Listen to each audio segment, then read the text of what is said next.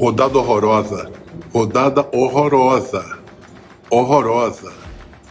O Botafogo venceu com facilidade, mas não jogou nada, jogou mal. Fez um gol já no final e fez outro gol mais no final ainda e não mostrou nada. Botafogo, com esse time, não vai chegar a lugar nenhum. O cara tá mexendo demais. O cara tá mexendo demais. Eu vou falar uma coisa. Chegou a vinha? Não, papai, isso não, pô. Não faz isso, cara. Não faça isso, cara. Eu já te pedi, mas você continua de teimosia. Então continua com essa teimosia que tu vai ver onde vai chegar. Venceu, tudo bem, está em segundo lugar no campeonato, legal, beleza, mas não está convencendo a ninguém, nem a torcida do Botafogo.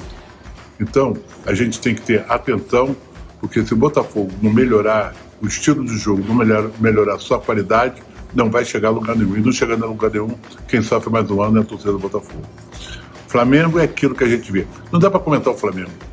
O Flamengo está botando a baba da baba, com a baba da baba, com a baba da baba, e bota para jogar e, e passou com a portuguesa, tudo bem, garoto, juvenil, infantil, não sei o quê. Mas não é, campeonato não é isso. Sabe pontos tá? Cinco pontos. Se continuar assim, de repente, nem entra no quadrangular. Quando chegar a galera mesmo que vai chegar, que eu não vi nada, eu não vi nada Eu lá nos Estados Unidos. agora, do Não jogo do per- amistoso, o que, que você acha? Passeando na Disney, todo mundo. Todo mundo chupando picolé, pirulito, vendo Disney, Pato Donald, Vendo tio Patinha, todo mundo. Dando abraço em todo mundo, fechejando, todo mundo bonitinho, uma beleza, Mas e o desfilado. time? Você acha que o time é bom? Não jogou tá nada. Não, Sim, não, não encaixou é nada. Não jogou nada. O Flamengo não jogou nada. Sabe o que? é? Ok. Hum, Agora o. Flamengo tá com um time bom? Tá com time, teu nome não é dizer que é time bom. Teu nome é jogar bem. E a torcida do Flamengo tá, tá, tá- tá injuriada porque jogou com o Mukirana, americano, que não joga. Americano só gosta de esporte que joga com a mão. Que joga com os pés, eles não gostam. Eles não gostam, eles gostam, mas não pode ver. E o Flamengo fez uma atuação ridícula. O cara fez uma tabela dentro da área do Flamengo com a zaga principal do Flamengo. Porra, peraí, meu irmão. Peraí. Pera, fez uma tabela. O cara fez uma tabela, tabelou e entrou, fez o gol no Flamengo. Ó, vou esperar chegar o time e vou chegar e esperar chegar no Brasil. Porque o que o Flamengo tá, tá para jogar, não dá para enganar ninguém, não, meu irmão. Não vai chegar também a lugar Agora a torcida, pra variar, arrebentou o Flamengo bota todo mundo, cara. Botou todo mundo que estava nos Estados Unidos. Até tio Sam foi. Tio Sam foi, botou a camisa do Flamengo, tio- tirou a camisa dele lá, botou a camisa do Flamengo Flamengo, no jogo. move mundo, né? Tio Patia foi, Mickey foi, Pato Donald foi, todo mundo foi, pô. E o Flamengo fez aquela atuação ridícula, É aí depois mexeu e ah, mas, não, não interessa. O Flamengo é uma coisa só, quando ganha, ganha pra todo mundo, quando perde, perde todo mundo. Quer que eu dou a nota pro Flamengo? Quatro, pra não dar três, quatro. É, foi lá. generoso, hein? Foi generoso. Tô generoso porque estava jogando o manto sagrado do Flamengo. O manto sagrado a gente respeita. Agora que não jogou nada, pelo amor de Deus, Tite, não, dá, não fala nada não, que tá, tá feio, hein? Tá feio de se ver, hein? Para com esse passeiozinho, volta rapidinho, porque senão o bicho aqui vai pegar. A torcida tá furiosa. Tá furiosa. Para com esse passeiozinho, volta rapidinho. Volta rapidinho, porque a torcida tá furiosa. E o nosso querido Vasco? Vamos lá. Tudo bem, aquele. aquele ah, meu Deus do céu. Você acha que o Vasco perdeu por culpa, por culpa do árbitro? dos duas coisas, do árbitro e ele mesmo errou. Não é possível o goleiro toma aquele goleiro toma aquele gol do lado de eu já vi falando não é de hoje que ele toma aquele gol, Júlio. Aquele gol é manjado. Ele deve ter uma gordurinha aqui do lado que não deixa ele dobrar. A bola passa por debaixo dele, cara. O chute muquireba daquele jogador deles lá, cara. Pô, o cara deu um chute muquireba, muqui- muquireba.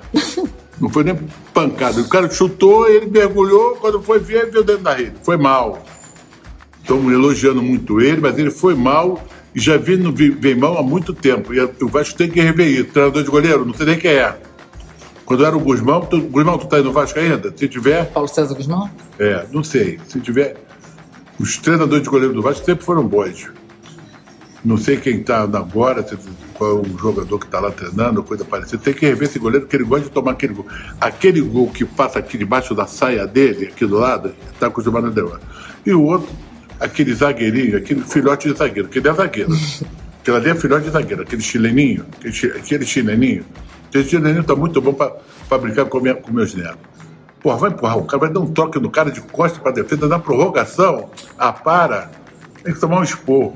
Mas como eu te falo a mesma língua, não vai ter esporro, não vai ficar por isso mesmo. E depois eu falo o resto que eu vou deixar, eu vou deixar meu fôlego E o para fazer todo mundo.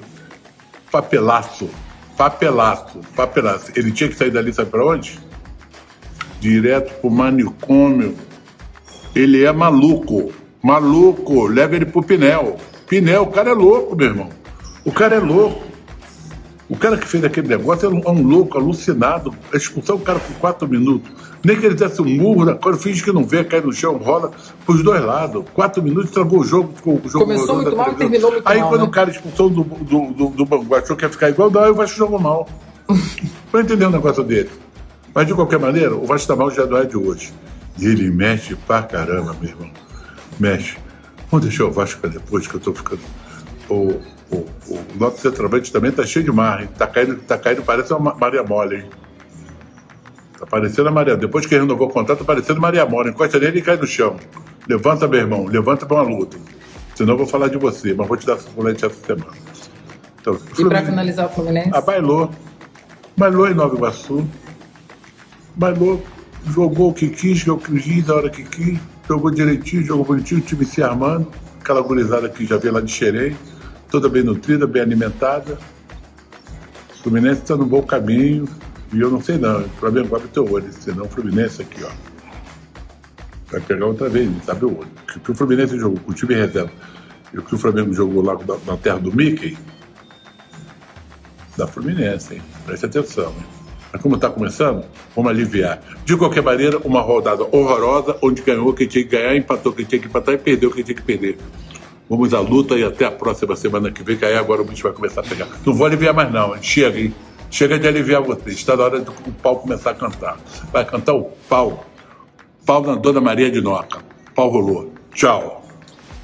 Obrigada, galera. Obrigado, Rei do Rio. Até a próxima.